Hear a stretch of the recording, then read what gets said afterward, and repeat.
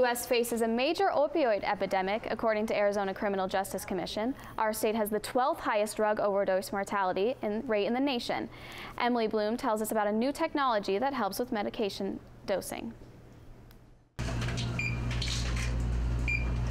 According to the Arizona Criminal Justice Commission, there were enough prescription pain relievers dispensed last year to medicate every adult in Arizona around the clock for two weeks straight.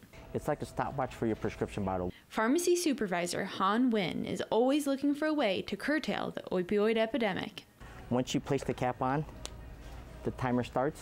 It's called a TimerCap. Designed to more accurately calculate the time in between dosages, TimerCap CEO Larry Twersky was inspired to create this device after watching his own mom face an opioid epidemic. When 20 minutes can seem like two hours when you're in pain, and two hours can seem like a lifetime, you got to have a tool that helps you understand that the interval's not getting too short. It's the difference between guessing and knowing when you last took your prescription. I think what leads to addiction is when the uh, patient is taking it outside what is prescribed. Wynn says this tool can help patients know when exactly to take their medication. It just drives awareness.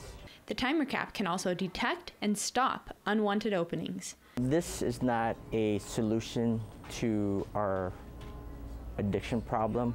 Uh, this is just a tool to help us keep track of our medications. And hopefully cut back on unintentional addictions. In Phoenix, Emily Blume, Cronkite News. Twersky and his team also have products coming out in the pipeline that lock and require a thumbprint to open them up.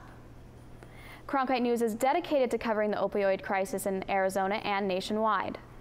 Our documentary, Hooked RX, From Prescription to Addiction, highlighted the problem of painkillers here in our state.